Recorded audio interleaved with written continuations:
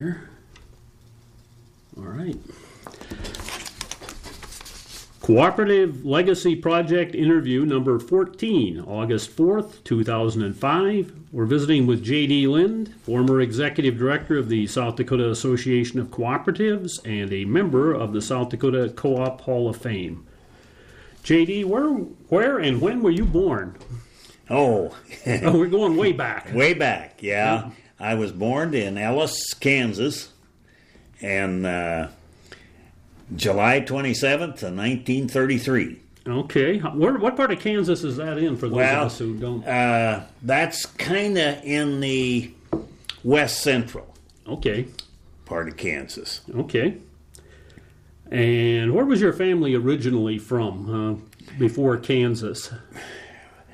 Well, uh, my uh, actually they uh, my parents were originated in Kansas. Ah, uh huh. Uh, my dad's parents uh, came over from Ireland, Okay. and uh, they were uh, Irish uh, uh, background.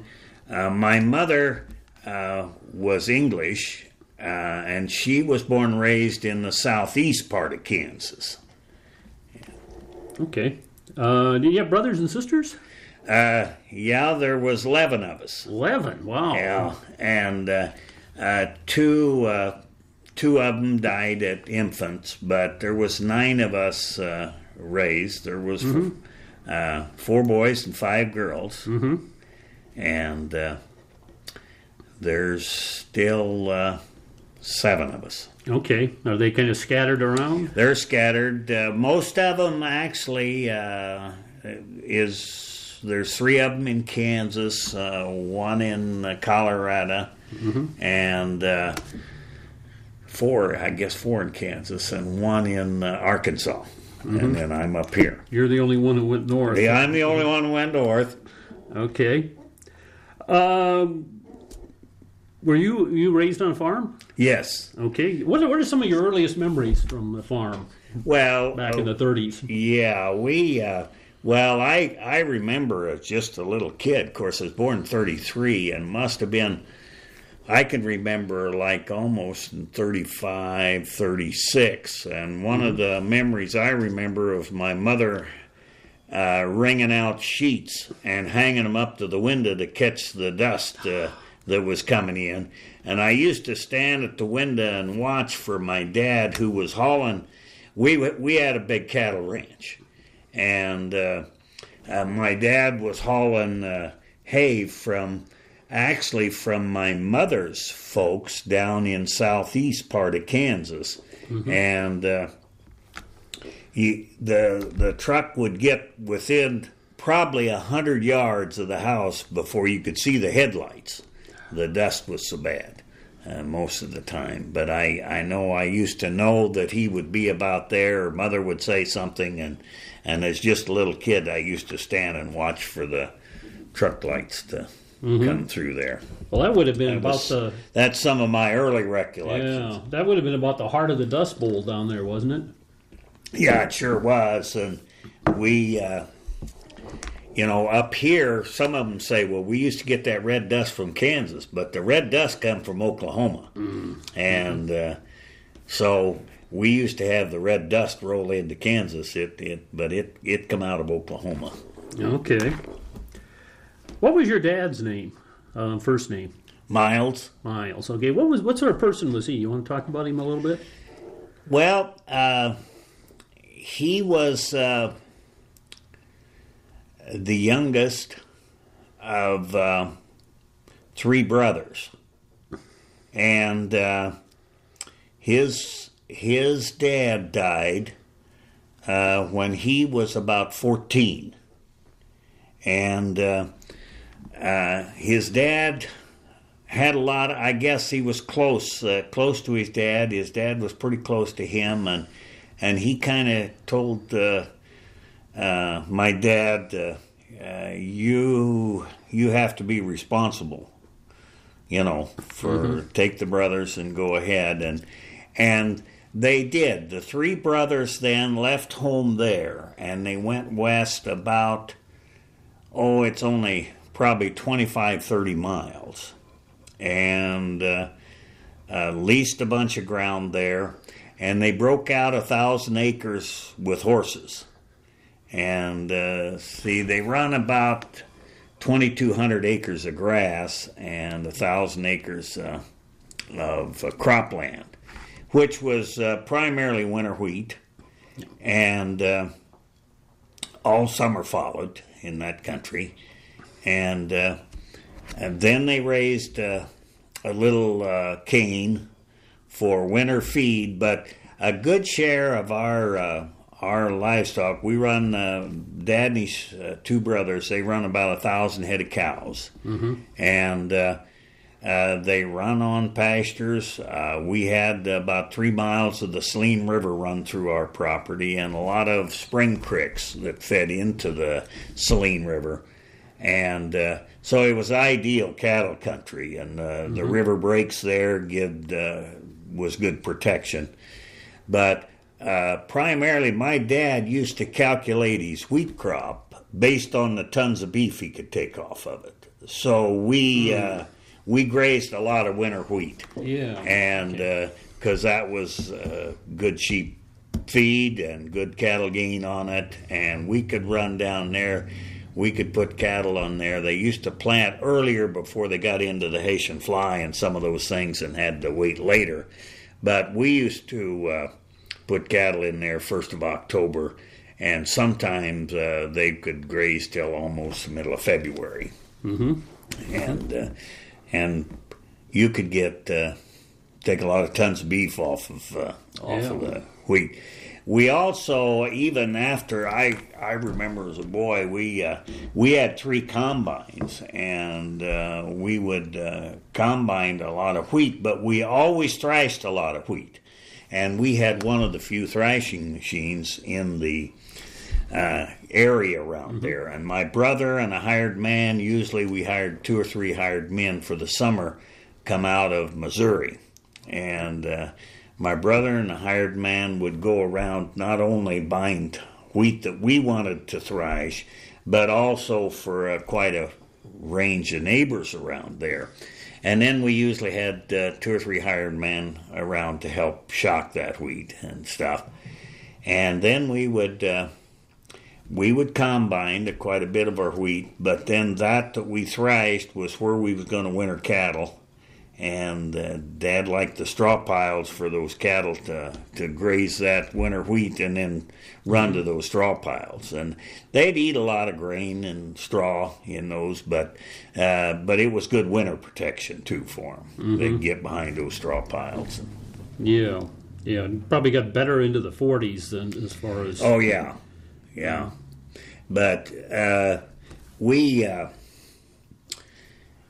we would we would thrash there, and then uh, my dad, I would we I'd help as a kid on the weekends, but then when we had to go to school, uh, he was thrashing clear up into de- early December for neighbors around there. Mm-hmm. Okay. Uh, what about your mom? A lot of work out there with that many kids. There was a lot of work out there. Uh, uh, mom uh, come up from around Emporia, Kansas, mm-hmm. uh, to some neighbors up there and was working as a hired girl up there at a fairly young age. And I think her and my dad uh, got married just ahead of harvest one year. And so her honeymoon was uh, primarily uh, cooking for a crew of about 15 harvest hands uh, out of a cook shack. Mm-hmm. Dad had uh, what we would call a camper today. Uh, it was an old cook shack on steel wheels that they pulled around with the harvest crew and uh, kind of a wood stove and a makeshift uh, kitchen. And so she uh, she started right away cooking for uh, a large harvest crew. Uh, when you were young, what did you want to do? You had a big family. You you may you may have figured maybe you weren't going to uh, all be able to be farming that same ground. That was I was one. I was of course uh, I was the youngest boy, uh, and I think that was probably early on. Um, you know, I probably pretty much figured out I couldn't stay, you know, on the farm, and so consequently, uh, uh, I was kind of pointed into some kind of agribusiness as uh, as as I was uh, going through school, and uh, but you know, my, my oldest brother uh, went to uh, was in World War II, and uh, then my next brother went in. He was killed in Germany in the Battle of the Bulge, and uh, then I and the brother just older than me uh, uh, never went in to the service. Uh, but my oldest brother, when he come back, he went to work for an implement business, and uh, Dad had a a uh, tractor loader accident and fell uh, quite a distance. He was in the loader and kind of broke, his heels and, and his ankles, and uh, they told him he'd never walk again. Well, out of sheer grit, he got up and walked the rest of his life. But the farm thing didn't uh, didn't look like it was going to work for him. Him and my oldest brother then bought out a case implement dealership Okay. in Smith Center, Kansas, and uh, they uh, they run that until uh, later. My uh, my older brother uh, went into the insurance business, and Dad sold the implement dealership uh, when he was ready to retire. Mm-hmm. So Um, school. Did you go to a country school or was I went. Uh, we town? rode. I rode horseback four miles to school for eight years. Okay. Yeah. Okay. And was- then we went to uh, we went to high school at uh, Trego County High School, which was one of the few schools in that time that organized as a county unit when it was organized originally. And uh, we were 17 miles from town, but what they did, they paid us mileage to drive back and forth uh, to school, and there was I and and about. Uh, my brother and about three cousins that carpooled back and forth. And uh, then when the weather got really bad, why we did have alternatives uh, places to stay in in town, and uh, so uh, that's yeah that's where we went to school. but uh, baseball was one of my real loves, but uh, it was not in the cards to play uh, uh, baseball or track because at that time of year we was cabin heavy, and Dad wanted us at. Uh, Soon as we got out of school, we was home and on horseback and riding cattle. Did they have Legion team there? Uh, they had Legion teams, uh, but there again, it was pretty tough for us being that far from town Yeah. to uh, to take off in the summertime. To uh, now, we used to play some baseball in pastures uh, on uh, Sunday afternoon uh, in the neighborhood around there, but uh, it just didn't lend itself to to participate. I played football and basketball in the wintertime, Okay. you know, but uh, the spring sports was a little little out of reach for us. Uh, I remember you once told me about the technique for catfish uh, catching. what was it, noodling or something? Uh, did you do that down there in that river? Well, we used to uh, we used to go up and down the river. We used to take a, a car seal beam and a couple of these old batteries out of the the country telephones, which was pretty powerful batteries, and, and made a made a pretty good light. Take an old seal beam out of the car, and uh, we would take pitchforks and walk the Saline River. And uh, you could uh, you could stab those fish as they got into yeah they'd go at night at night they would move from one deep hole to another and sometimes they was only in six or eight inches of water. And when you uh, you had that you know get them in that shallow water you could you could catch them and uh, so we used to yeah I and my brothers used to do that quite a little bit. And we used to we used to catch some quite a few carp. And uh, that was all sand bottom, and the carp was was pretty good. My mother used to fix the carp like you did salmon in a pressure cooker, Oh, and then you could just you know you could eat the bones and all. They were just soft, and and so she used to fix carp in a pressure cooker, and we ate quite a few carp that way too. well, you got a big family, you don't get you know you. I'm today, you know, people ask me, "Do you uh, do you like this or do you like that?" And I haven't ever found anything I didn't like. You know, there's a few things I like better than others, but uh, Yeah. as a kid growing up, you just ate whatever was on the table. You didn't ever ask uh, for any special favors.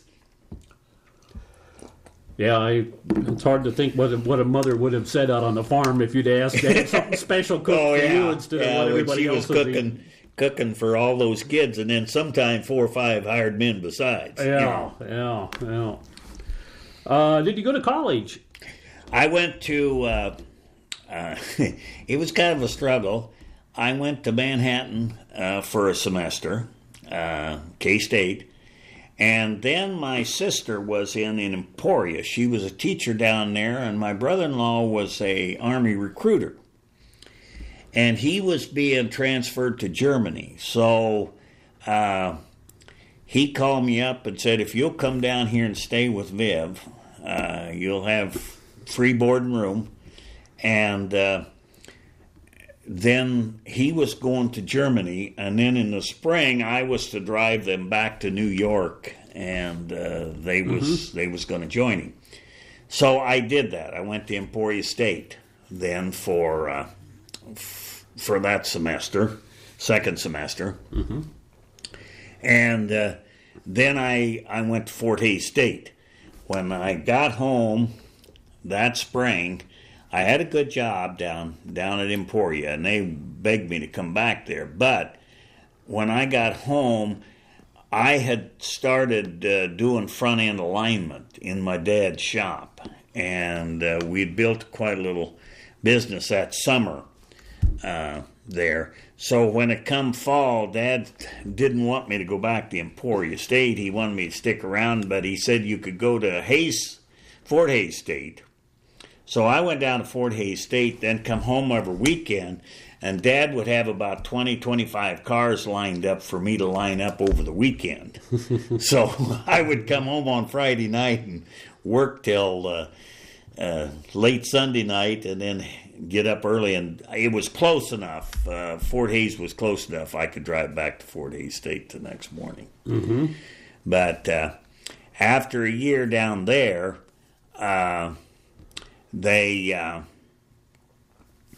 we was I was right up next in line on the draft for the uh, Korean conflict, and so uh, I didn't go back to school the next fall because they said you'll be in the next month's call. Well, as it turned out, uh, they uh, they would have enough volunteers to fill their quota each month, and so I kind of was around there for the all winter, actually working for my dad there in the shop because uh, help was awful hard to find during that period. So many people gone to service and stuff, and so uh, so I stayed around there. And I guess the next spring, then I got married, uh, and then they was actually going to draft me then. And I went down to meet the bus, and she had the note there that they had quit, quit taking anybody that was married.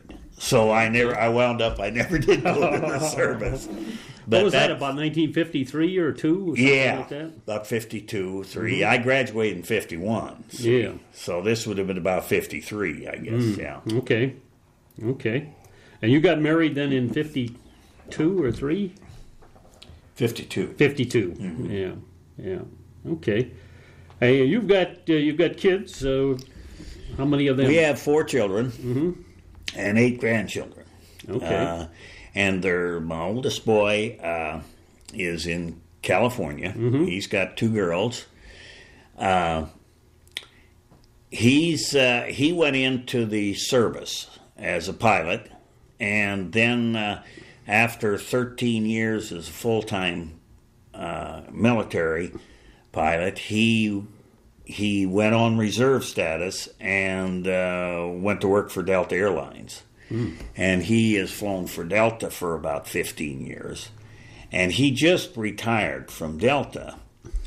Uh, he's still in the reserves, but he'll have 30 years in next June. And he'll he'll have to retire then next June. He's full colonel, and uh, so he's uh, he's working for a small town out there, an airport uh, that he's doing some consulting work now for, and then then in the military. But okay. uh, Connie is a speech therapist. She's got uh, two children, and uh, she lives in Denver. Mm-hmm. And uh, then uh, Dennis uh, lives here in town, works Northwest Public Service, and uh, uh, they've got two two children. And then uh, Darren, my youngest, is in Des Moines, Iowa, and they've got uh, two two children. They're the youngest of our grandkids. They're uh, 11, 10, and 11. So mhm Well, let's get around to cooperative stuff. Were your family members of cooperatives down when you were on the ranch or farm down there Yeah, in in fact- Kansas? In fact, my dad uh, spent a lot of time organizing cooperatives. I can remember as a kid, uh, you know, going with him to various meetings, trying to put cooperatives together, and uh, wake up on the couch when it was time to go home. Uh, somebody's home someplace. Uh, but I, I made a lot of trips with my dad when he was uh, working on that. They. Uh, the first first one I remember was a grain elevator in o- Ogallah, Kansas, and uh, they had there was a private elevator there, and so they decided uh, to try and start a elevator. They pooled enough money that they bought a rail loader, something to unload from wagons and and uh, trucks and load into boxcars and that's all they had the first year. And they decided to price the grain just like the the private elevator was doing it. And but by the end of the year, they had enough money to to build their elevator.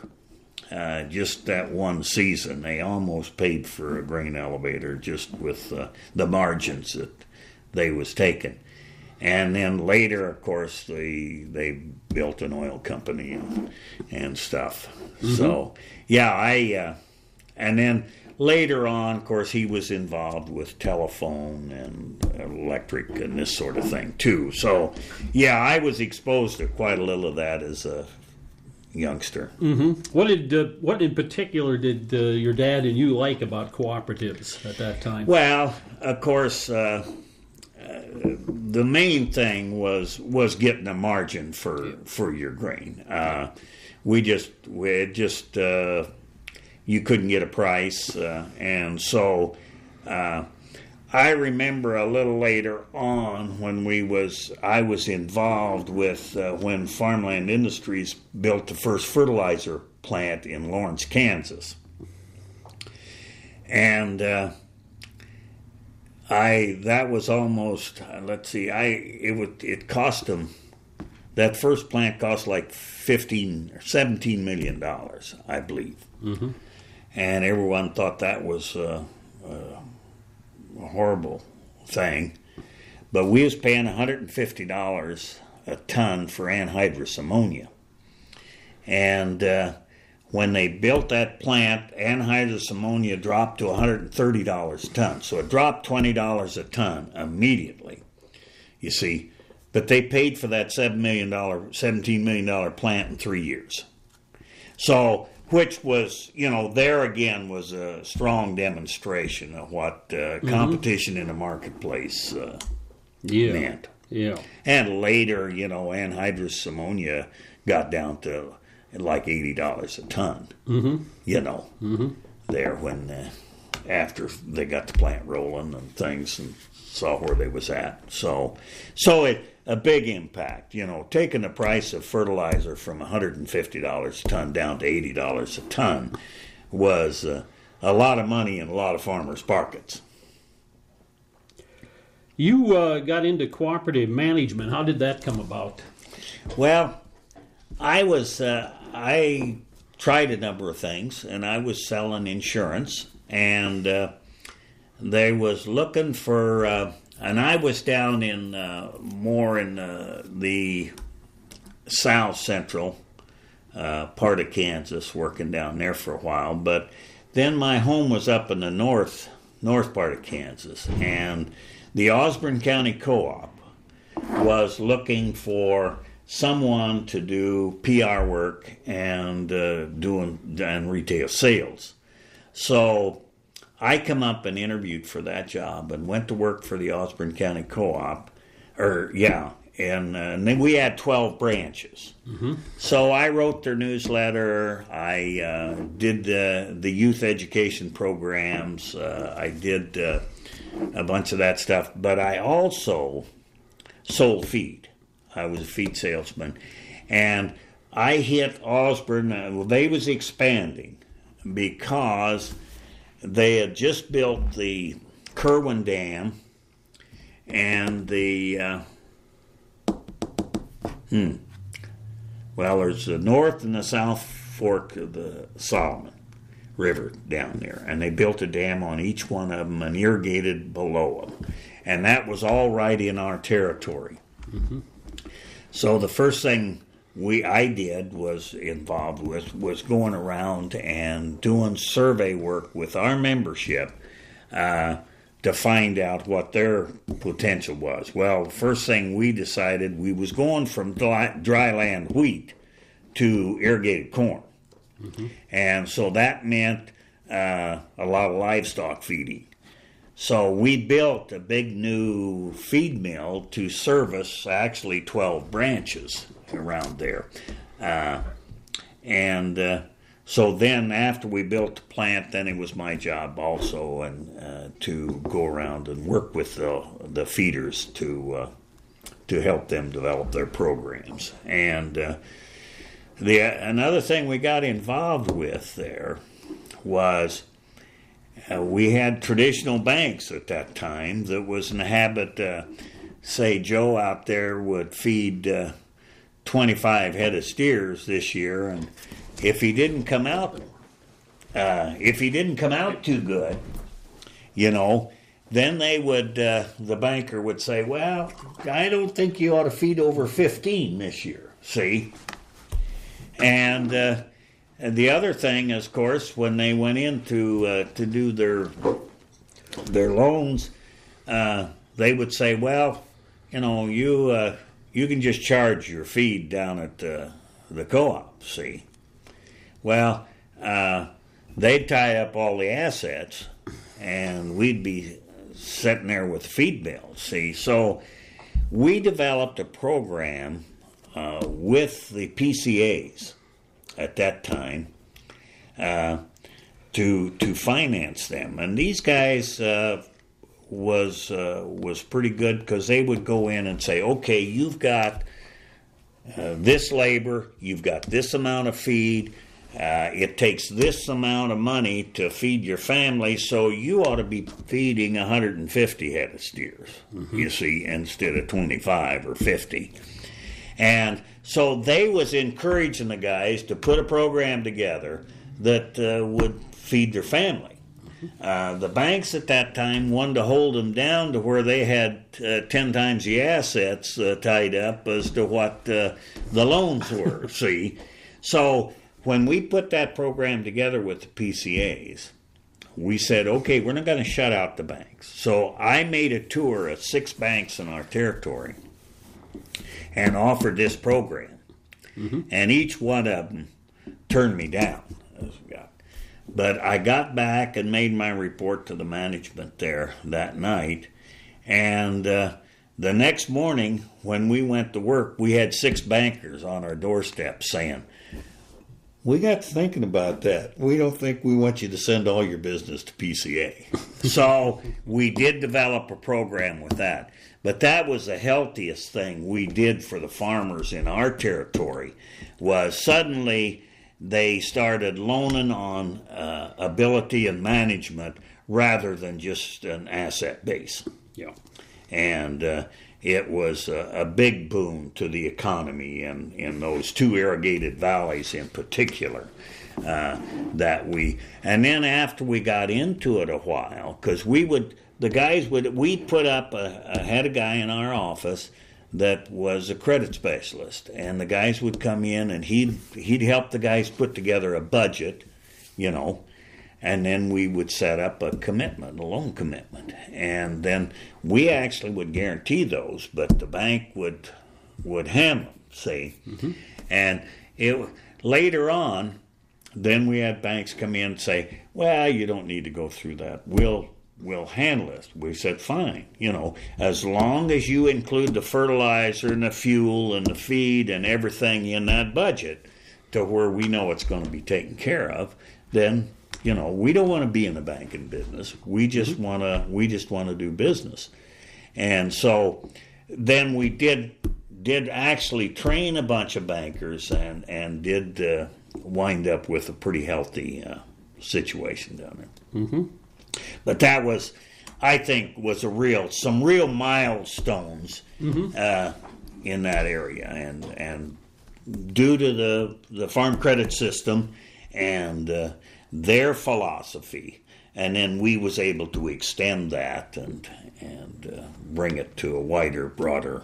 Mm-hmm. Was that kind of picked up by some of the other areas around Kansas? Yeah, there was uh, a number of areas then around Kansas that picked. We had uh, the uh, uh, Beloit County Co-op, which was next door uh, to us to the east, and mm-hmm. they had they had about the same size. They was had 10, 12 branches, and and they also adopted a very similar program.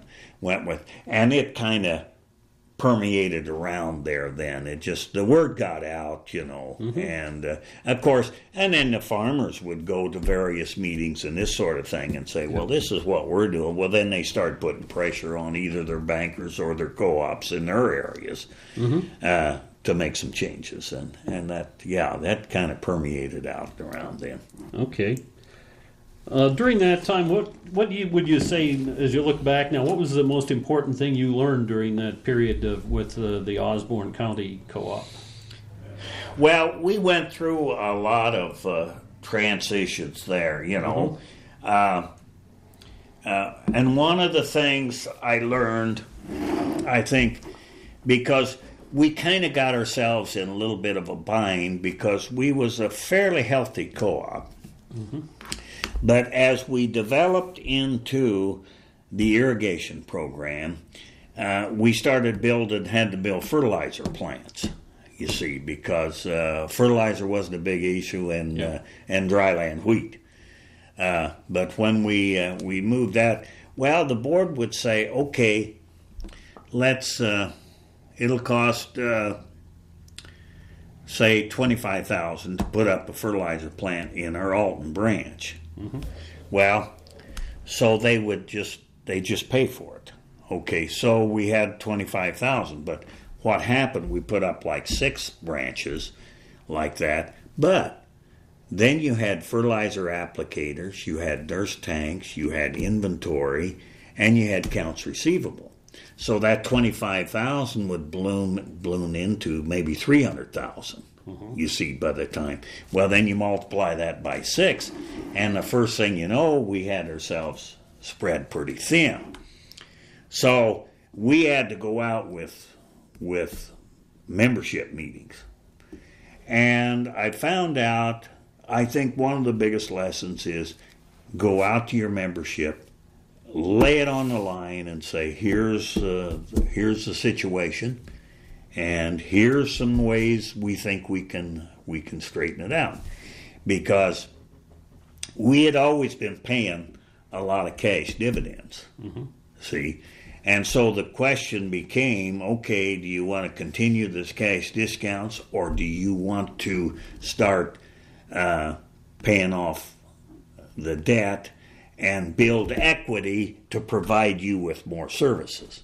Well, when you laid everything down on the line and the guy says, hey, in order to make my operation work, we need these services. So our challenge then is to get this thing uh, put put on a perspective where we can get it paid for and we can continue to grow and develop uh, more facilities to, to provide me with the service I need. And I I think that was one of the big lessons I learned. If mm-hmm. you just you go to the membership, you lay it on the line and say, "Here's here's what it is," uh, because uh, we you know we went through a big accounts receivable crunch too because we had gone through a time when you paid the accounts receivable was paid every six months or once a year you know mm-hmm. well when you got to doing the volumes that we was doing uh, there was not margin to carry that kind of accounts receivable. And so then we had to go we had to switch members uh, to a strict 30 day credit policy from uh, a wide open situation. And but when you laid it on the line, uh, the, these guys come in and said, "Hey, we recognize this is what has to be done," and so uh, we was about half scared to go to the country with, with that kind of a program. But uh, when it was all said and done, and you laid everything on the line, that uh, if if you're upfront and honest with the guys, uh, you can get an awful lot accomplished, and uh, sooner or later, that's an issue that kind of confronts almost every co-op if it's sure. going to grow at all. Yeah. Um, comes up to 1964, and uh, how, how did it come about that you ended up going to work for the Kansas uh, Cooperative Council? Well, I was on the Kansas Co-op Council board, mm-hmm. and uh, Hal Hellebust was the executive secretary at that time, and his board uh, you know, wanted to expand and put uh, put another man on because uh, he was tied up with a lot of things and a lot of projects, and he needed somebody to do the field work and and this sort of thing, and work with youth programs and and manager director training. And so uh, when they was, he called me one day, you know, and started talking about this position, and uh, so I, uh, you know, I thought he was searching for somebody, you know, and I guess I give him a few suggestions, and he said, "No," he said, "I want you to come interview," and I hadn't really given that part of thought to time, but I thought about it a while, and uh, so. Uh, there really was an interview. He'd already made up his mind. There really wasn't an interview. He just says, uh, I'd like for you to go to work next next month, or well, in about two weeks. And I said, well, I've got a lot of things hanging fire. I'd like to spend a, uh, at least a month and get these guys uh, mm-hmm. transitioned. And he said, I'll if you'll come down and work the state fair in Kansas in two weeks, then you can go back and do whatever you need to. so that's what I did. I worked for him uh, I went down and started with the Kansas State Fair. We had a big uh, co-op uh, building down there, which we had all the various co-ops. Uh, mm-hmm. It was all in the same building, and so I spent the ten days down at the Kansas Fair, and then went back uh, for a couple of weeks and finished up with uh, them before I we moved. I moved then down to towards well, I moved a little town close to Topeka, mm-hmm. and uh, and went went to work for him then. Okay, now Topeka was where the office was. The office was in Topeka. Mm-hmm. So it was kind of, like I say, it was kind of on the east side of the state. So when you went West River to Garden City or Ulysses or Liberal or, mm-hmm. you know, uh, you was uh, you had to spend two or three days out there in order to justify it, and that's I, a lot of times I didn't go. I was twenty miles uh, west of Topeka at St. Mary's. And so I didn't always go in the office. I spent a lot of time on the road working with the membership, and Mm-hmm. maybe I was in the office maybe one or two days a week. Okay. And uh, Okay. the rest of the time I was on the road pretty much. All right. What do you have you doing out there? Well, uh, primarily it was uh, we had, uh, of course, we was building membership number one. So it was it was a membership thing. Uh, I worked with the VOAG departments across state because we had uh, a co-op training deal with all of the VOAG departments in the state. So I I spent a, quite a little time working with them and uh, with the membership, and uh, then uh, then I put on. Uh, I worked uh, with the college, and we put on manager director training programs. At at the time, they uh, the directors hadn't been exposed to hardly any any uh, formal training as board members, and so uh, we put on a lot of a lot of training programs across the state. And so I was involved in that. We also had uh, one of the other guys in the office uh, who wrote our newsletter and, and kind of did some research and this sort of thing. And uh, he uh, he would work with me on a lot of the workshops too. Mm-hmm. So, but that that's primarily what we was doing. Yeah. Yeah. You have a chance to work with some interesting people down there during that time. Oh yeah, yeah. I had uh, we had the regional co-op, uh, uh, or you know, Fieldman. Mm-hmm. Uh, I worked with a lot of those. I worked with the Farm Credit System uh, there, the regional people the Farm Credit System, and the the bank uh, for co-ops, and uh, then we had uh, we had a group uh, co-op auditing firm that was separate uh, from from the regionals, and uh, I worked close with a lot of those uh, people, and uh, and then the college. Uh, we was connected with the college, and I had several friends there that uh, was very interesting. Yeah. Mm-hmm. And any of them that particularly stand out that uh, you want to mention by name? If you think back.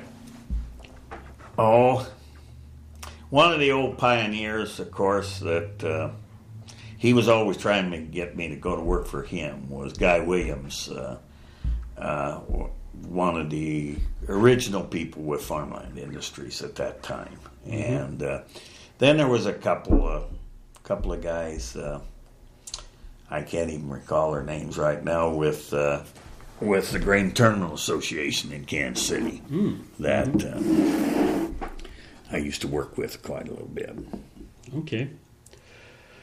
Uh, 1968, uh, you get an offer up here in South Dakota. Uh, how did that come about? Well, uh, we had gone to a lot of, uh, we had annual uh, meetings with the National Council of Farmer Cooperatives, and uh, then the state associations would get together during those. And I guess uh, during some of those, um, the chairman of the board up here uh, at that time had uh, had been at some of these meetings, and they were kind of in transition.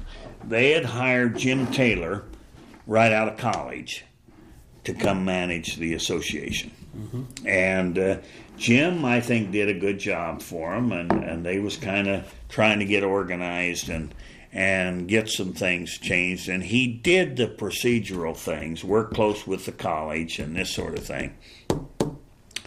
But they wanted to do some other things. They wanted uh, uh, they wanted to make some changes, and so they called me one day in in Kansas and and uh, asked me to come up here and interview.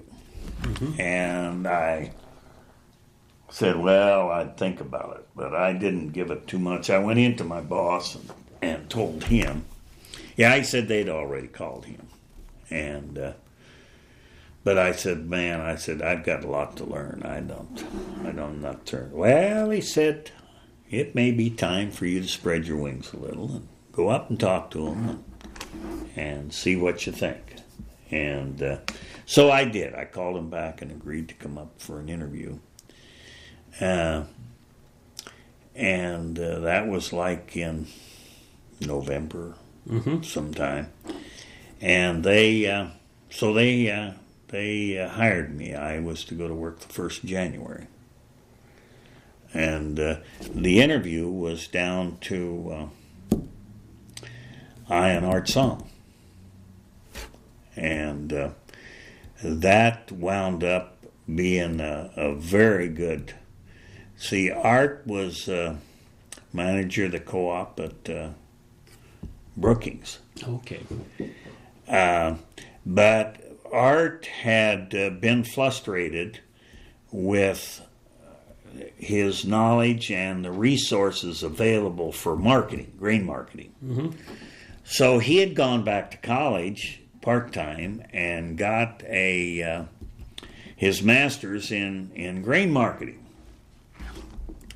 Well, uh, I don't know. He's a very capable person. I don't know why they chose me over him or whatever, but they went with him. Well, he had he turned around then and went to work for the college. So consequently, he was my main resource in training programs uh, for the next several years, and uh, so that's kind of that's kind of how that developed.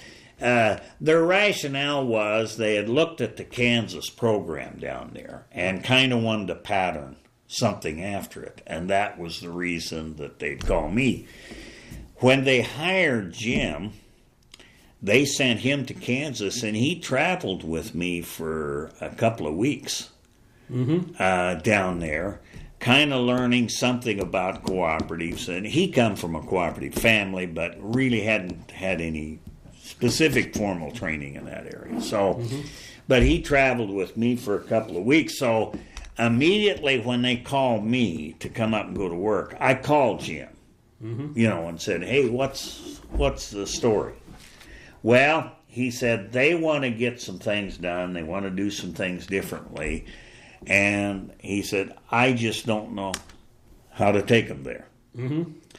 and I think they wanted to get more involved in the legislative process and mm-hmm. and uh, lobbying and this sort of thing. See, Yeah. And that that was the switch they was trying to make, and that's so that's when I went to work for them. I uh, I drove to Sioux Falls on the first of January, and uh, got into the motel late. Met with Charlie Lawrence who was chairman of the board at the time with the PCA down there, managed the PCA. And uh, so I met with Charlie for breakfast and, and about an hour a visit or so. And it was 20 below that night in Sioux Falls, you know, and I was checking my sanity. A good initiation to South Dakota, huh? So I uh, I come on up here, spent the rest of the day in the office. The legislature was getting ready to start. Was starting the next day. Back in those days, it was what every two years yet, or was it No, the annual no, sessions? they they was in annual sessions. Okay. Uh, so I uh, I picked up the things I thought I would need out of the office, uh, and it was like nine o'clock that night before I headed for Pierre. Mm-hmm. Uh, I'd spent scrounged through the office all I could to try and learn as much as I could, and so I uh, I went to Pierre. Well, by the time it was 20, 25 below that night, and by the time I got to the Blunt Hill, I was getting some gas line freeze up, and I was doing about 25 mile an hour the time I uh, topped the Blunt Hill. I finally coaxed it on into Pierre, went down to the some station and got some gas, you know, some uh, heat, put a couple of cans of heat in there, and then drove around for another 20, 30 minutes to get that cleared up, and uh, which which I did, and then then checked into the motel. And, It's a shame they didn't have ethanol back in those days. yeah, that's because because as soon as they come out with ethanol, I've burned nothing in any of my vehicles Yeah. ever since. You know, Yeah. and uh, so never have bought another can of heat after I started using ethanol. But uh, but that was uh, that was kind of a scary experience uh, that that night. Uh, and then so then I started up on the legislature uh, the next day, and uh, didn't know a soul. Mm-hmm. Just come up from Kansas, and so I took some advice from an old friend of mine in Kansas. Uh, he uh, he said, when you're in a position like that, JD, just walk around with a smile on your face. You'll make everybody else nervous because they'll wonder what you're up to. so I kind of faked it that first session, I think, by uh, just walking around with a, with a smile on my face and trying to watch for for the. But I had had. Uh, I had had quite a little cooperative. Uh, I had four years of cooperative uh, lobbying experience in Oh, Kansas okay. before I come up here. I, like I said, I was on the road, but during the legislative session, uh, I, I and Hal was worked the legislative session quite a little bit with to him. And Hal, uh, Hal was come out of the uh, North Dakota Farmers Union program Oh, okay. and uh, so Hal had always been involved in quite a little bit of the lobbying activity, and Yeah. so uh, Yeah. so he was he was a good mentor, you know, when I uh, worked for him down there, Yeah. and so, but then then I I started uh, that, and uh, so I think that first year a lobbying, uh, I I tried to kind of sit back and watch and, and see what was going on. And one of the things I noticed, of course, was uh, we was trying to they was trying to take sales tax off ag chemicals. Mm-hmm. You know, and they had done this was about the third or fourth year they'd done that. Never got it out of committee. And the ag gr- groups all wanted to do that, but everybody was doing their own thing. And I think I recognized as an outsider, Yeah. uh, you know, and it, I had no more talent than anybody else, but I think coming in as an outsider and observing, I could see what was kind of happening. And that's when I called uh, six of the organization the Farm Bureau, the Farmers Union, Stock Growers, the Fertilizer Association, uh, the Rural Electric Association, my organization. I think that was probably the core group that I started with, and called them all and said uh, I'd like to like to get together and have a meeting. And that's when I said I think we're confusing legislators by being scattered on specific issues. And that's when we organized the Ag Unity Group. Mm-hmm. Had they had anything like that in Kansas? Had you had any experience? We with trying to we really together? we had uh, a very informal Mm-hmm. kind of deal. We tried to get together, uh, and with some success. Mm-hmm.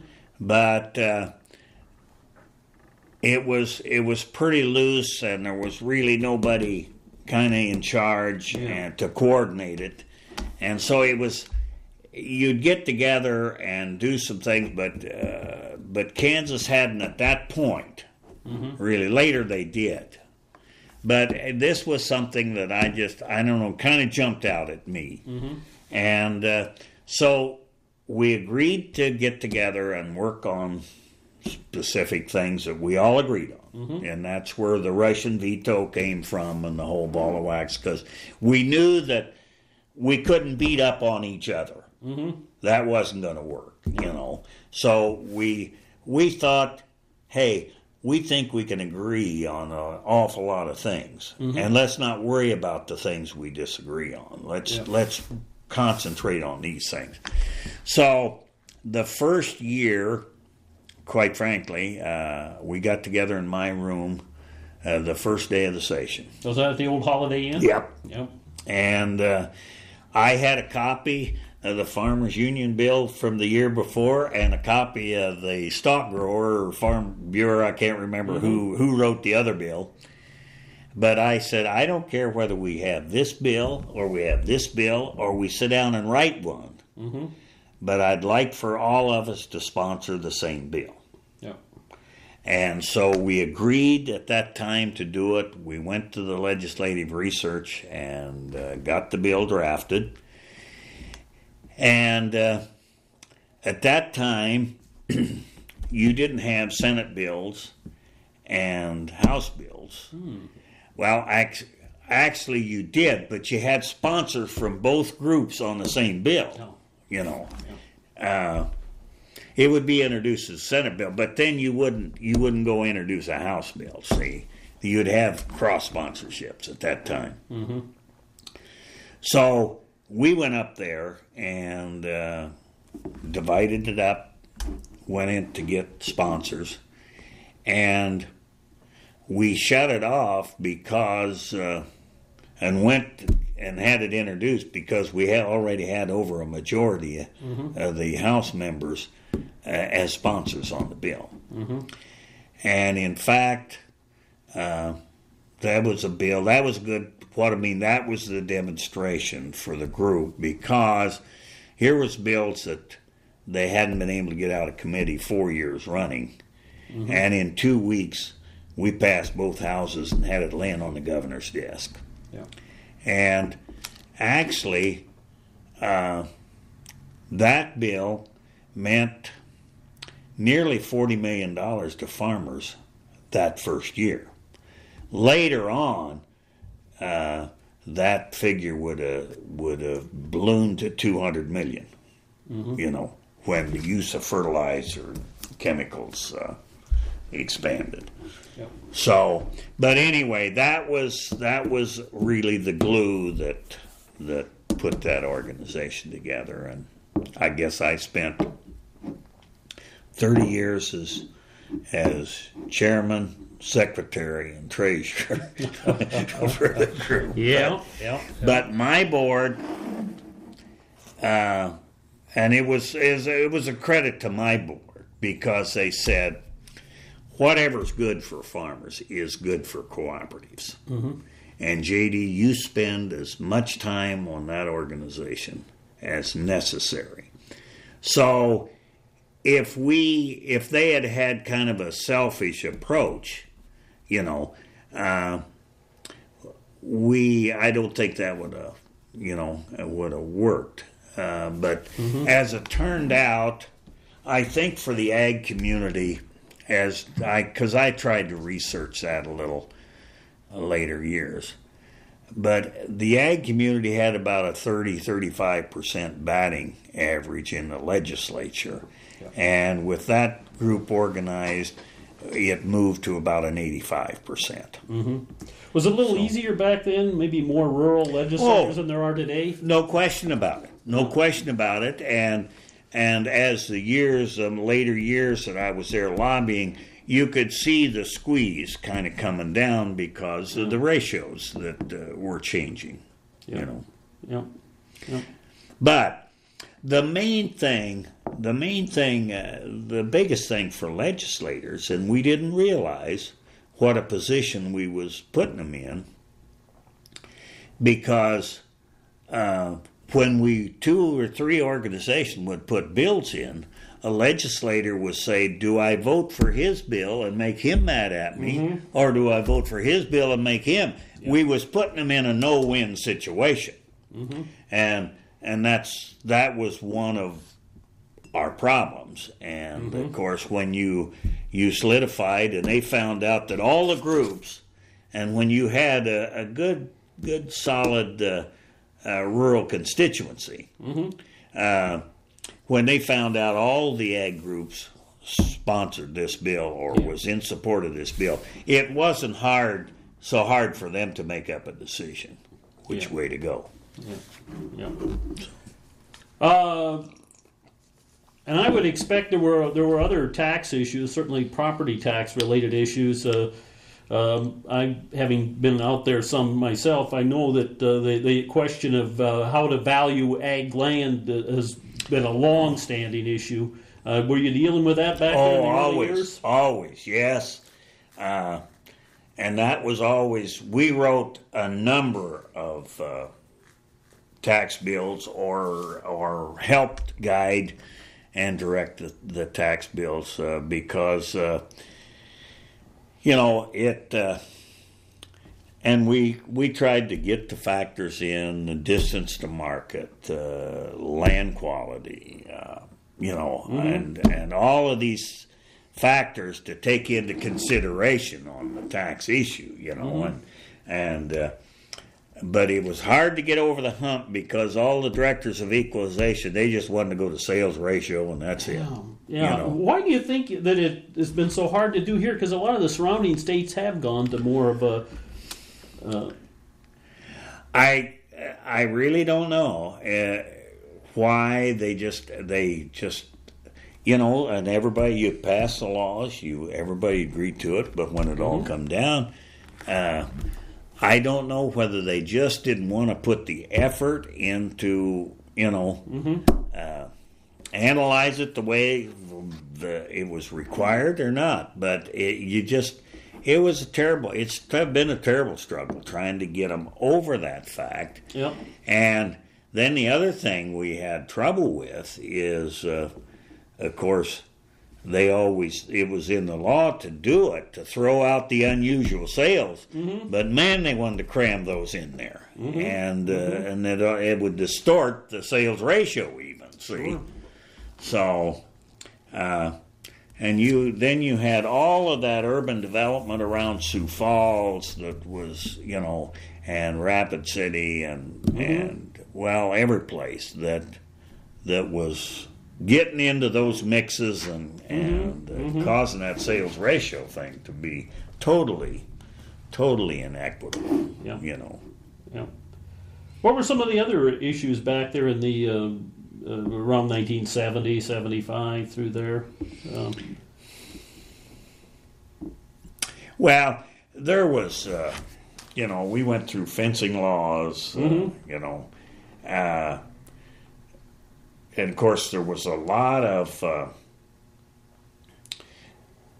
the the short grass issue was always a big issue, and and involved the the Ag Unity Group quite a little bit. Uh, that was, uh, of course, a, a personal baby of the stock growers, you know, because of all the leased land in, in western South Dakota. Yeah.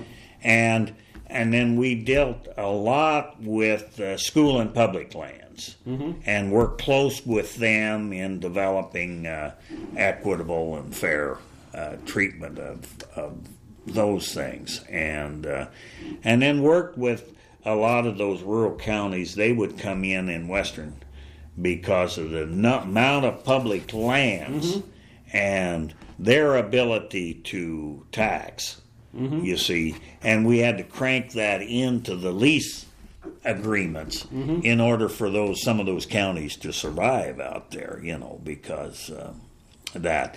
The other thing is we prairie dogs was always a big issue with us out there. Coyotes uh, and predators was was a big issue, you know. Uh, the other thing that we dealt with, always dealt with, of course, was uh, the ag college uh, budget. Mm-hmm. You know, uh, that was always uh, uh, one of our priorities was was Yeah. working that. Then, of course, we went through. We built a new feed mill over to the college. Uh, we built the, the diagnostic lab and expanded it, and uh, then veterinary students was always a big issue because we didn't have a veterinary college. Yep. We went through a survey uh, one time in a joint effort with Nebraska to build a vet school. Put a lot of time and money in. Harvey Wollman was involved in that pretty heavily, and uh, uh, we put two years of study and research into that project. And uh, but always wound up uh, buying slots out of state uh, because it was so much uh, cheaper to uh, to do that than uh, than to uh, uh, have your own college. And uh, uh, then later, uh, funding those vet students, uh, Yeah. I had the uh, appropriations committee come to me and say, uh, "Okay, you guys are going to have to come up with your own funding source for for this." Well, there was two things that had happened at that time. One, when they we had taken, of course, the the tax off chemicals, and your pour-on wormers and this sort of thing were were insecticides and were mm-hmm. exempt from the sales tax. Pharmaceuticals wasn't. Yeah. So when they come in with the injectable wormers, like the ivermectin and some of those, mm-hmm. uh, the state interpreted that then because they was registered, they was both registered as a pharmaceutical and as a pesticide. Mm-hmm. But state interpret those as pharmaceuticals, Yeah. and they were wanted to charge sales tax on all the wormers. Well, that's when I met with the revenue department and had a couple other Ag Unity guys with me, and we convinced them to roll that back and quit charging sales tax on it. But they said we want a law to straighten that out, uh, so that uh, we won't uh, won't be confused over it. So I went with uh, Merck and Company, and we uh, finally come up with terminology. And the terminology was endo and ecto parasiticides. Mm-hmm. So whether you poured it on or injected them, it was going to be exempt. So we passed a law exempting the endo and ecto parasiticides. That was something to spell. in the first and yeah, and this always brought a rouse among whenever I testified before a committee. You know, uh, you know. Sounds like something that might be invading from outer space. yeah. So, uh, so they uh, they they would get a big kick out of that. But anyway, we did put the law on the books. Mm-hmm. Well, it wasn't, but about two or three years later, that they come to me and said, uh, and I think, I think we had like a three-year window on that, and uh, but then they come and said you're going to have to generate your own funds to uh, fund these vet students, and we also was needing more money in the uh, diagnostic lab. Yeah.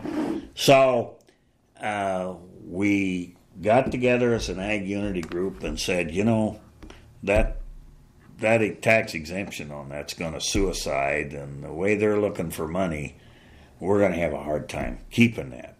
So before it expires, uh, maybe we should redirect those funds and isolate them for vet students and and the diagnostic lab. So basically, that's what we did. Then uh, we uh, we took the exemption off, but we the money was isolated and put into the vet students, and uh, I think that was generating about five hundred thousand dollars, and it cost about three hundred thousand or three hundred and forty thousand for the vet students a year, and then the rest of the money went into the diagnostic lab Yeah. and Yeah. uh, so that was that was kind of an interesting. Mm-hmm.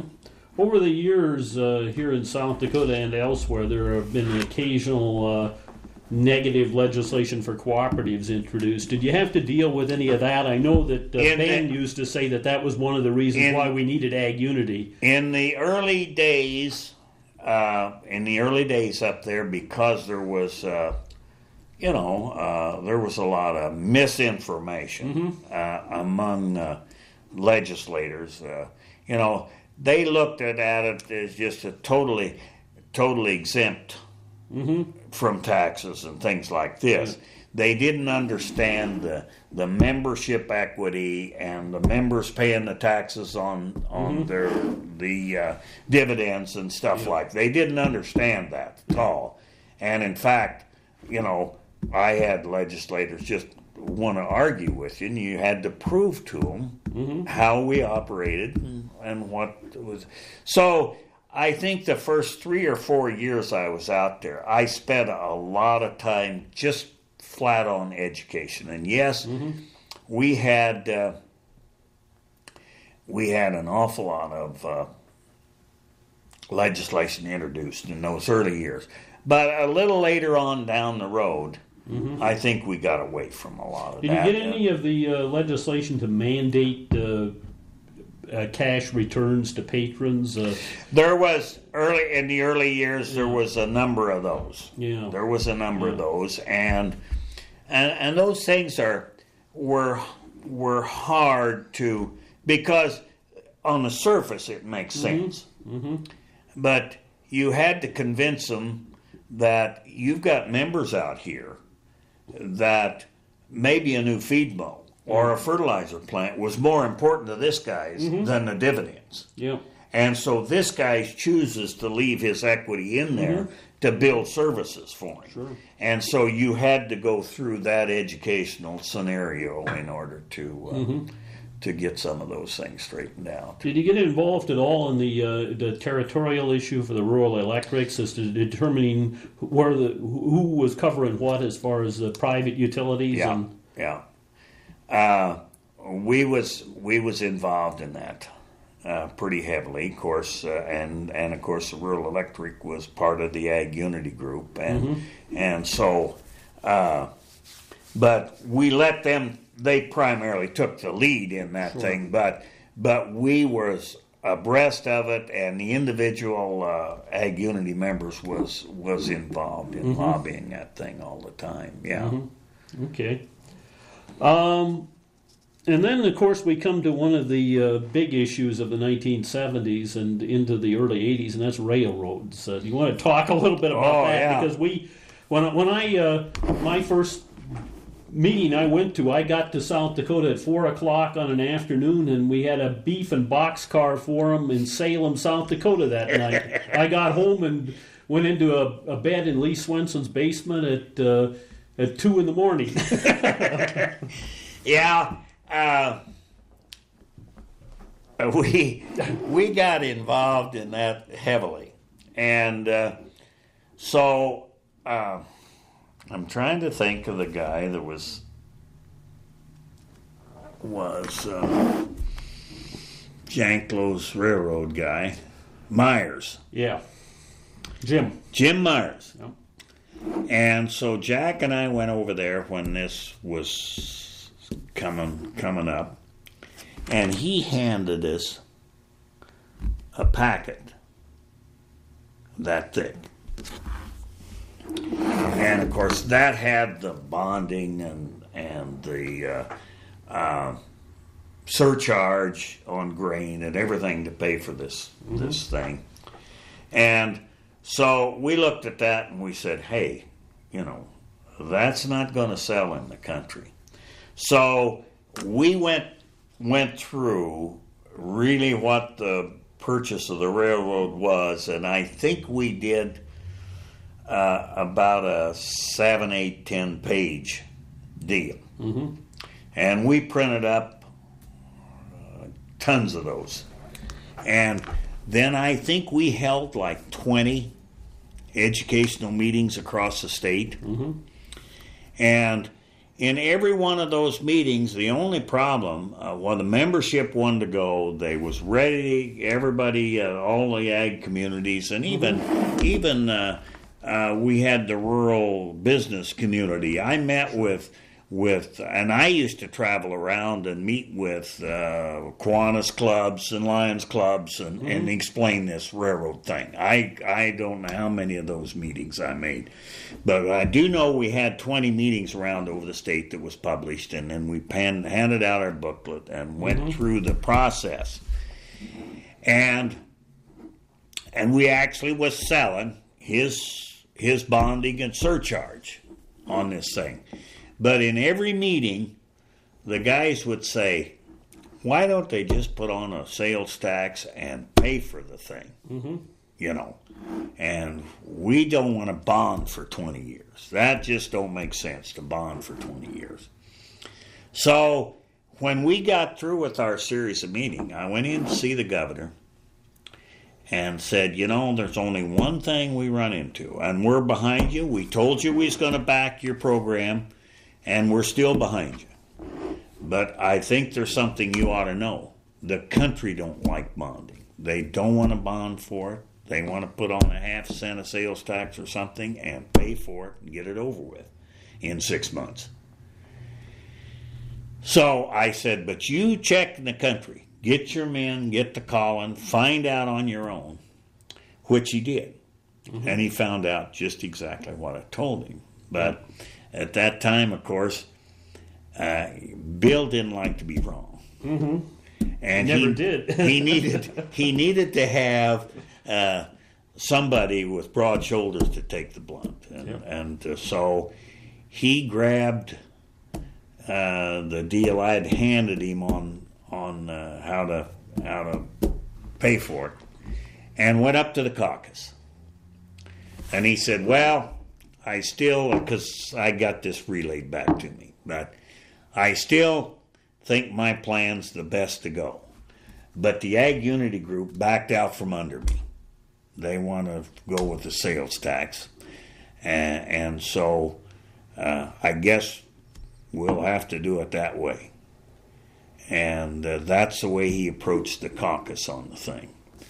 And I said, well, I got broad shoulder. If he wants to blame me and go that way, that's what the country wants. We'll just do it.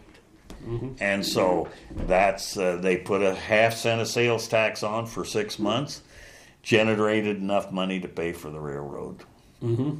and uh, that's how we got in it. But there was bumps along the way. See, he also he also wanted to put in about three or four state-owned terminals and he wanted to buy boxcars and and uh, he wanted to get in the grain business as a state and that's where we put our foot down and says no way Yeah. we've got adequate facilities out here to handle this thing and we don't need the state in the grain business mm-hmm.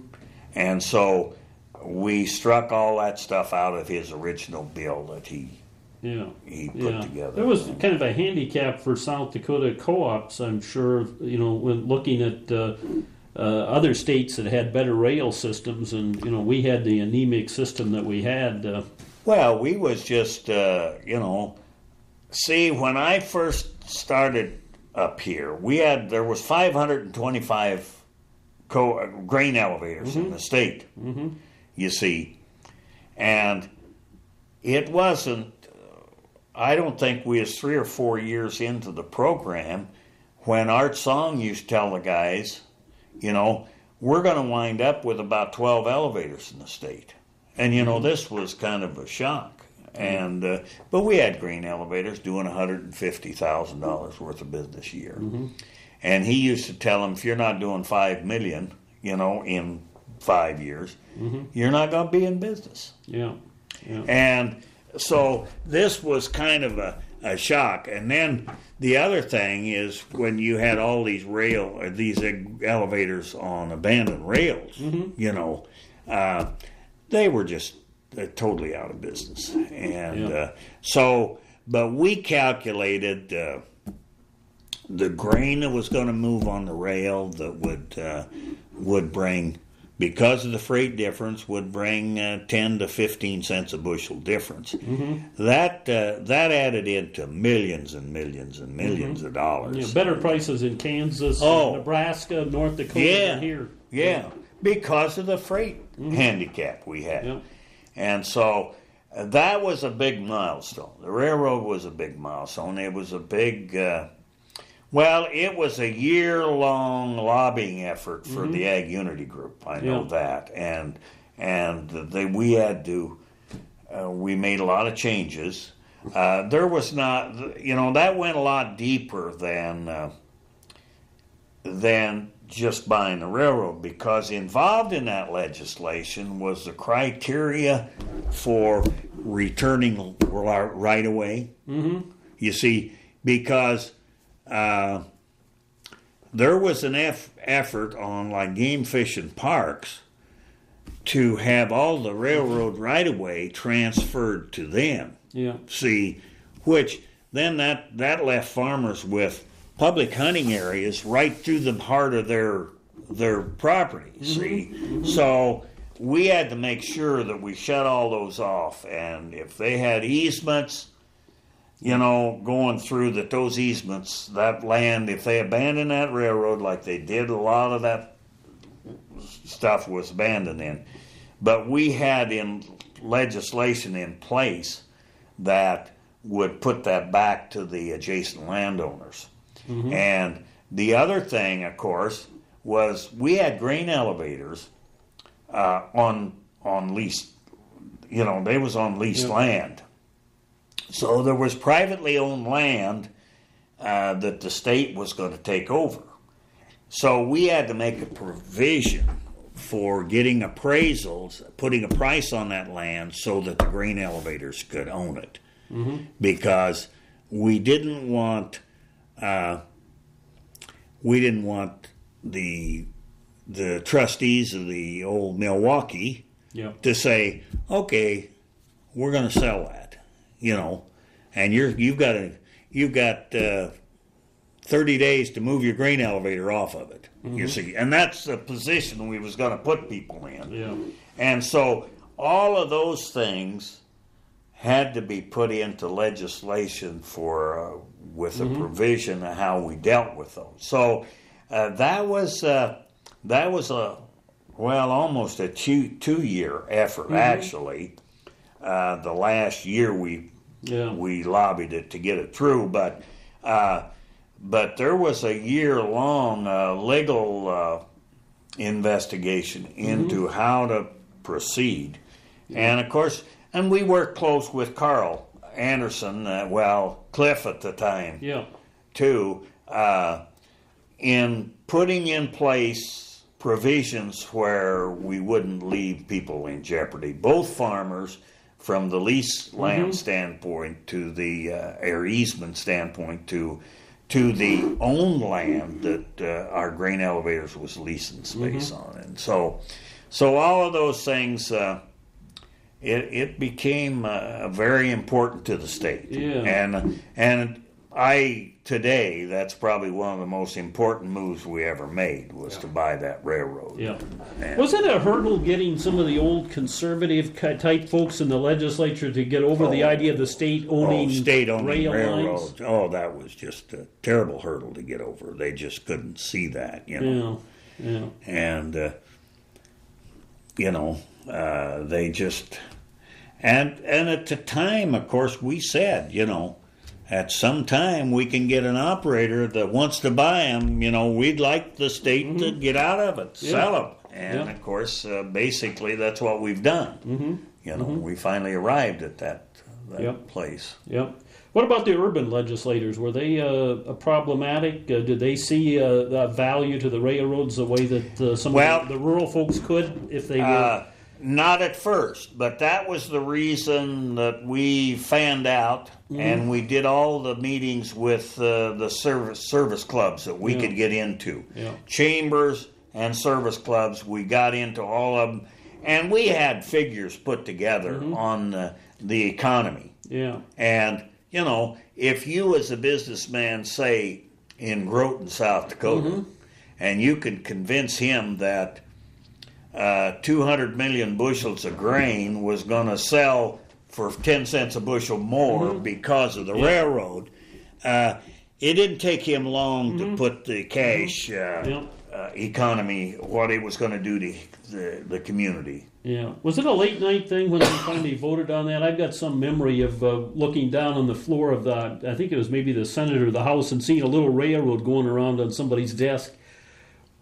Yeah, it. I think it was about two in the morning before we put that thing to bed. It was it was one of those things. Uh, we, I, in fact, I'm not sure the clock wasn't covered, and uh, we was going past the uh, the uh, session time Mm-hmm. when it finally finally was put together. Yeah, you want to talk about another issue that I think was uh, got to be crucial in the uh, about the time the railroad was thing was coming on, and that was ge- getting uh, doing something to encourage ethanol production here in South Dakota. Yeah, that was uh, that was a big push, and of course, to come up with the the money for incentive payments, mm-hmm. and of course, there was, you know, you had uh, you was dealing with uh, major oil companies Yeah. in uh, on the tax issue. You was also dealing with uh, uh, Department of Transportation, and uh, who were all opposed, of course, to that thing from the uh, you give a tax break on Yeah. the on the road tax. You also sat in as a representative of the co-ops in, in the Highway Users Association, and they had a little. Some of those folks had a little different take on. It. Oh yes, yes. Highway users, of course, you had all the contractors in Yeah. there, and they didn't want uh, they didn't want to lose the money, of course, and so uh, it took a very strong. Actually, it took a very strong ag unity.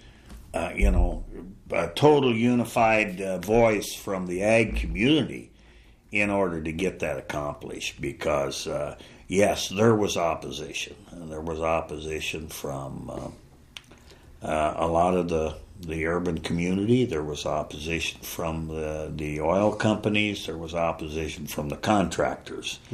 And all you know pretty powerful uh, lobbying groups. And uh, so yes there was a, a tremendous amount of effort had to go into that that program Might have been a few of them that back in those days might have been surprised to see what's happened today if they could have looked down the road Yeah. to see the kind of development we Yeah. ended up as a result of that. as a result of it, yeah. Which would have never happened without those incentives Yep. uh, to to make it happen. Yeah, Yep. no question about it. Um, over the years, you've had a chance to work with a lot of people. You want to talk about some of the folks you've worked with, uh, individuals, Oh, uh, you know, both in my- the association and outside. yeah. I just, you know, it's been a, a tremendous experience for me. Uh, you know, I've had uh, legislators that uh, stand out in my mind as just uh, extremely fine fellas, and and the number of people I work with in the Ag uh, Unity group. Uh, you know, Jack McCullough was uh, a close friend of mine. Uh, a very opinionated fella, uh, but a very intelligent person. Didn't always agree with him, but you had to respect him for uh, for what he uh, he brought to the table, and uh, sometimes. Uh, you felt like he was off the wall, but he did some things in in the Ag Unity Committee to make people think. And uh, it maybe stirred their ire a little bit once in a while, but at least he brought a discussion, and and you know, uh, so there was. Uh, uh, I'm trying to think of uh, the senator from Rapid City, the extension agent. Uh, Oh yeah, oh gosh, can't even think of his name. and I yeah. The guy who of- lost his family Yeah, in the, in the flood. Rapid City flood. Yeah. Yeah, yeah, yeah. but tremendous individual. Uh, and I, I worked with him close, uh, lobbying. Uh, he was a guy that carried very little legislation, but he guided most of it. yeah. Uh, he drafted an awful lot of legislation. Uh, he was uh, a real force on the uh, the appropriations committee for years. Uh, but there would be legislation coming in from various legislators that he had drafted, uh, put together, and encouraged the guys to. to but uh, a just he had a phenomenal mind uh, as far as the way the legislature worked and how to work the legislature, and uh, I learned an awful lot from him. Yeah, yeah.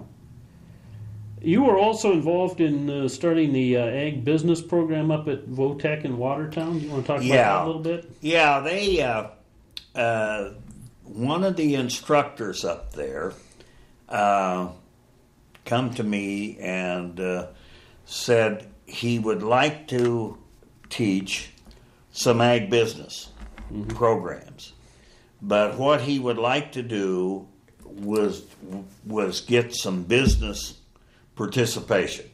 He wanted to do three months of classroom, three months on the job, and back to the classroom, and and so uh, I helped set up then number one the program, and then I went out and got co-ops to participate in the programs, Yeah. and uh, and as it turned out, an awful lot of these kids went went to work for the co-ops that they actually apprenticed in, and uh, it it brought us a lot of uh, yellow. Yeah. Uh, yeah. Uh, what do you got? Uh, I've got a yet to pick up at Jamestown and go straight over to Morristown and eight miles in North Dakota. Uh, let me give you a call about uh, one o'clock. I'm kind of tied up right now, but hook it up.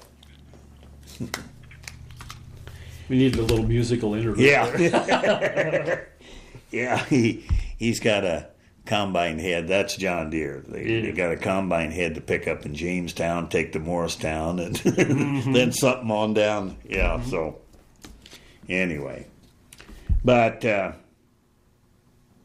We were talking about the Votech. Oh, the at- thing, yeah. And I that program uh, really developed uh, with the Watertown Yeah. uh, deal, and uh, many, many, many of those guy kids went to work in cooperatives because I think we was a big uh, Uh, gainer in that program because uh, we did uh, develop quite a little talent. Sure. As you look back over at, you know, for the 30 years or so span here in South Dakota and then some additional time down in Kansas, what are the biggest changes you see in the kind of issues facing cooperatives? Um, you know, certainly we've seen some difficulties perhaps for some of the larger regionals over the years that, uh, that didn't appear 30 or 35, 40 years ago. Well, uh, there's a there's a number of things. Uh, I think uh, uh,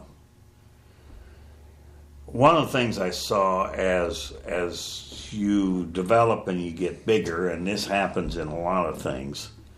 Uh, you outgrow your management talent, and I think that happened in some cases. Yeah.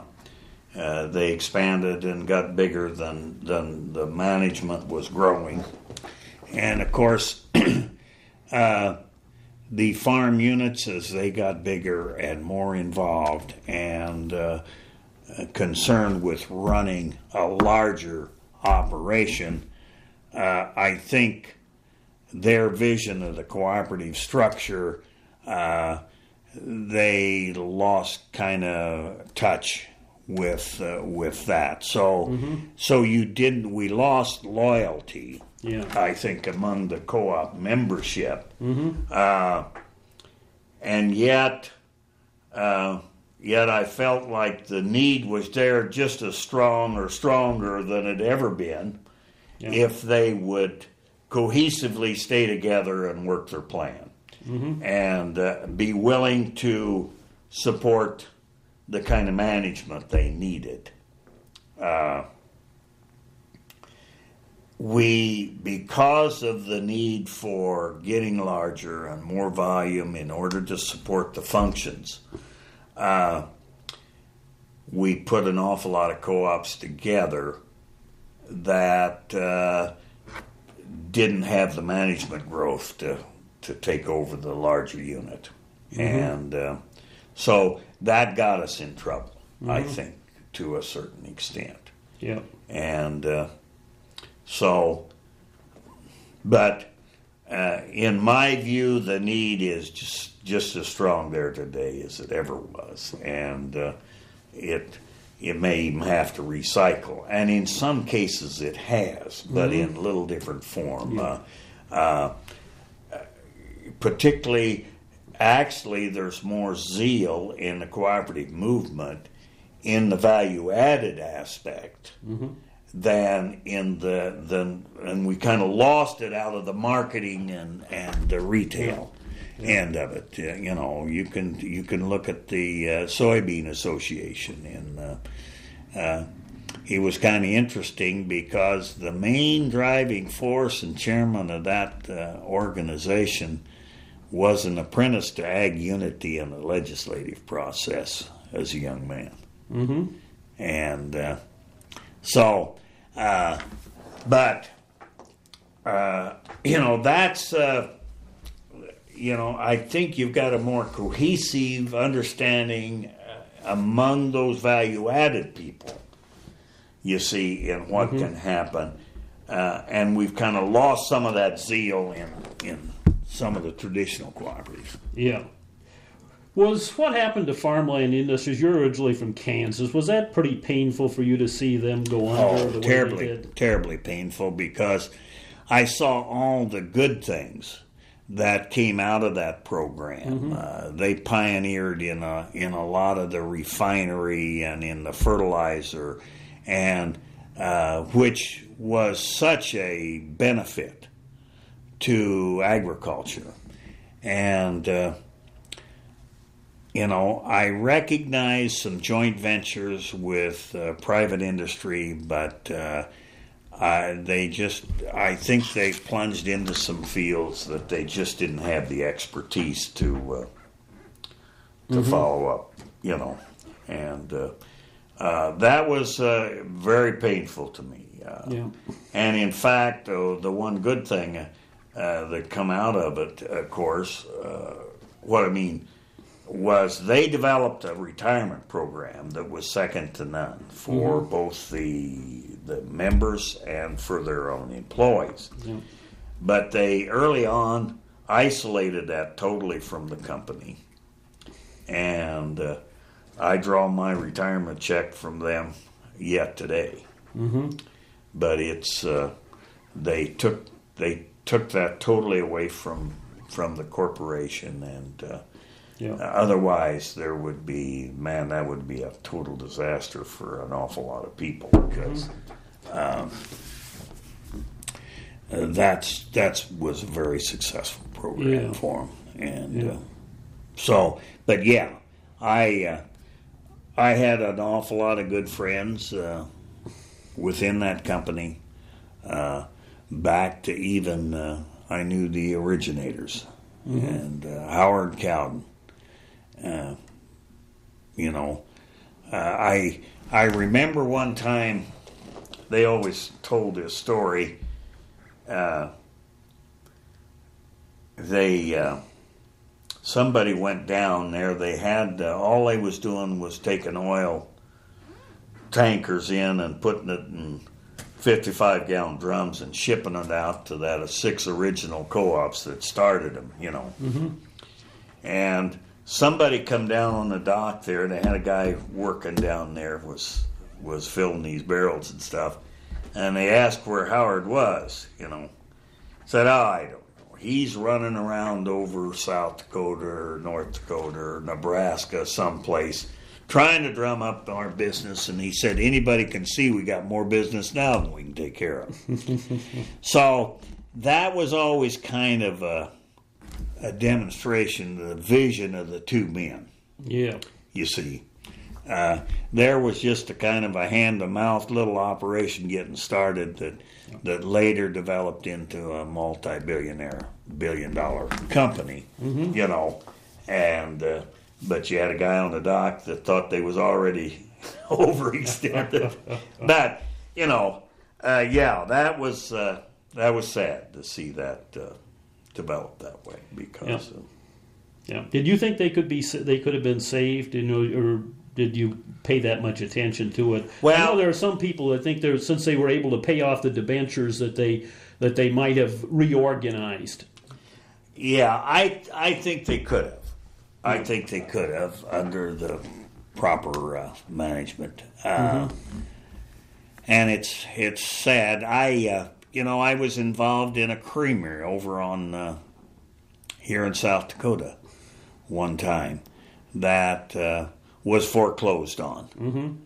and. Uh, when it was all liquidated, there was more assets and, and cash, uh, about twice what the, the de- indebtedness was. Yeah. And it was kind of a crying shame that it was taken over that way. But Yeah.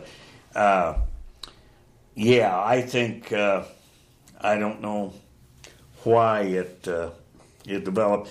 See, I lost touch with that because most of the downfall happened about the time I retired. Yeah. So you lose your contacts and your Yep. so so I wasn't uh, privy to an awful lot of the the things that happened right Mm-hmm. there, but uh, I you know I can't help but believe that Mm-hmm. uh, they could have come out of that thing if uh, under Yeah. under proper uh, proper management. How many times have some of the re- uh, airlines gone bankrupt and come out again? Yeah. Yeah. Um, what year did you retire? Now What was it?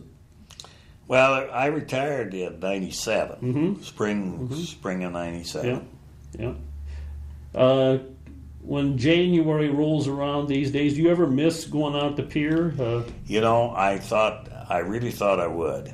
And uh, the surprising thing is that I haven't. Uh, and one of the reasons, one of the reasons that's true, I loved every minute of it. And lobbying was a real challenge to me. But lobbying is a year round activity.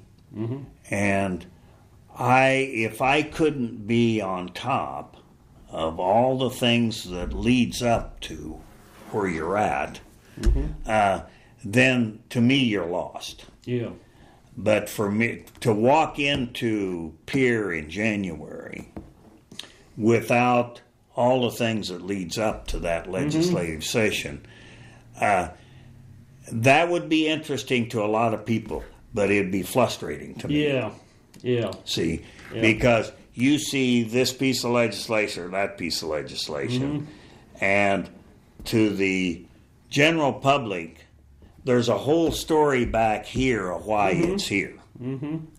And I guess I don't. I I'm not very comfortable if I don't have all the facts leading up Okay, to not that. unlike farming, you got to plant the crop first before Yeah. you can harvest it. Oh yeah, yeah. Yeah, yeah, Uh, well, I, you know, and I'm working with some Mm-hmm. groups now. I, uh, you know, the Soil Conservation Okay. And uh, they're they're in a real struggle for uh, funding money. Mm-hmm. You know, and it's I've tried to help them a little bit, but it's frustrating because. Uh, uh, here a couple of years ago, even, and, and they've been struggling for a couple of years. But a couple of years ago, you know, they kind of come in in December, mm-hmm.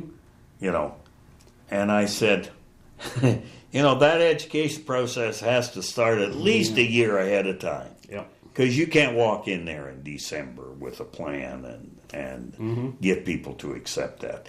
You've got to do a lot of groundwork. Well, uh, this year they've been doing a lot of that, and and the problem is they're funding uh, uh, hinges on some some people that's not willing to give up, uh, and uh, so but they have met with I, you know, I said, hey, those people are going to pose this, so you've got to meet with those people, mm-hmm.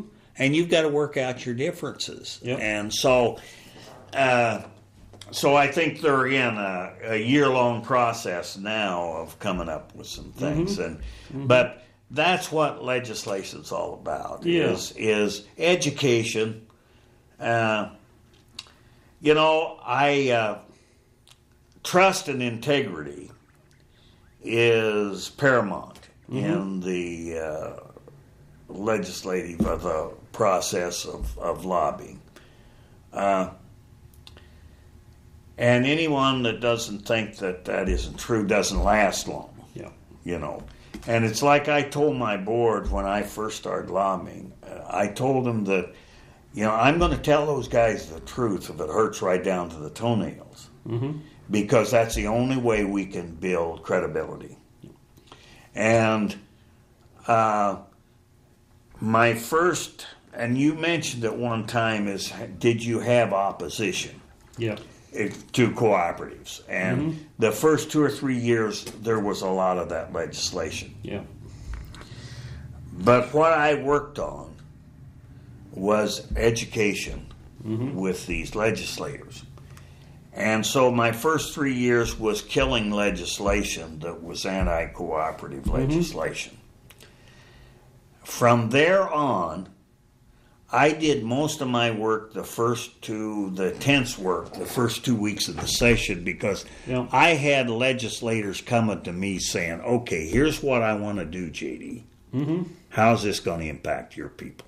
Yeah. And I was able to help them with amendments and changes to legislation before it was ever introduced that would have been, I'd had to been opposed to had I let them introduce it the way it was. So I was able to stop a lot of legislation before it was ever introduced or get it corrected to where we could live with it. And so, uh, but that trust and those legislators coming to you and say, "Here's a bill I want to introduce, but I want you to look at it 1st uh, saves you an awful lot of lobbying headaches later on. In Yeah. You kind of appreciate not being out there these days with term limits so you'd have to be continually doing this education thing that maybe in the past you had more continuity? Yeah, there's there's two things, two things that uh, would be, and I'm I, I it got worse, but it was starting to get frustrating the last year or two I was out there. Yeah.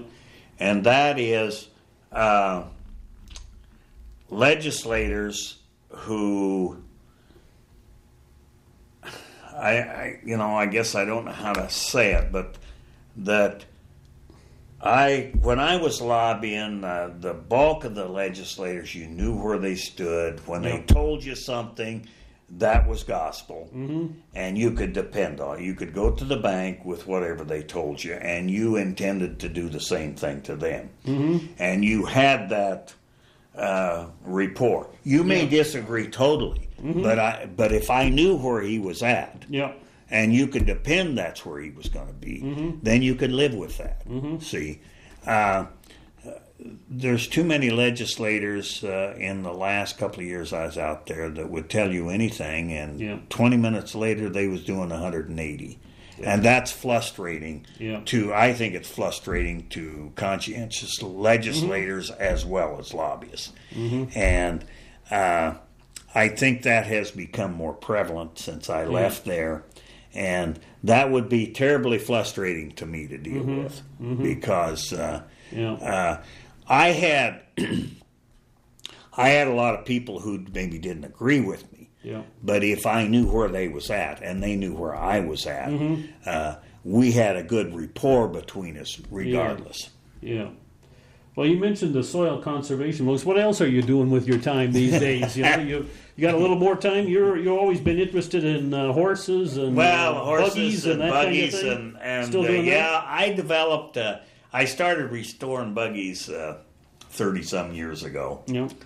and one of the hurdles with restoring buggies was the wheels. Mm-hmm. rebuilding the wheels. So I used to haul wheels down to the Amish country in Iowa, and sometimes I'd take two or three sets and stay there and build a set while I was down there, and then so I could bring them home, and because they was usually running six months to a year behind, Mm-hmm.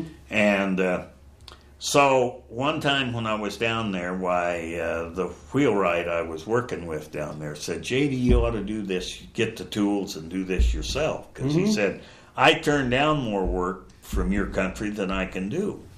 and that was hard for me to believe. But anyway, I come home and it took about a year to round up the tools I needed, and what I couldn't find, I had some machinists make, designed and make for me. So I started doing my wheels. Well, then I had people looking over my shoulder saying, "Would you do me a set, set for me?" You know, and uh, so it wasn't but about uh, two years that I had all the spare time taken up uh, building wheels, and I quit restoration. I haven't done any restoration now in 25 years, but uh, so yeah, I did. And now, I of course, I've slowed down. I, when I retired,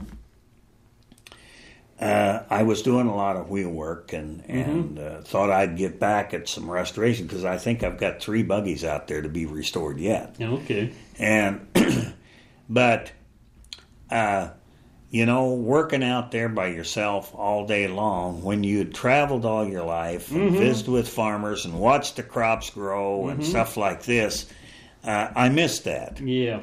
And so uh, the John Deere dealership called me one time uh, and wanted to know if I'd deliver some machinery for them. Mm-hmm. So that kind of sounded interesting, and so I guess I've I've helped them for six years on a part-time basis. It gets me to the country. I watch the crops develop and grow, and and I get to talk to some farmers and and visit with some people.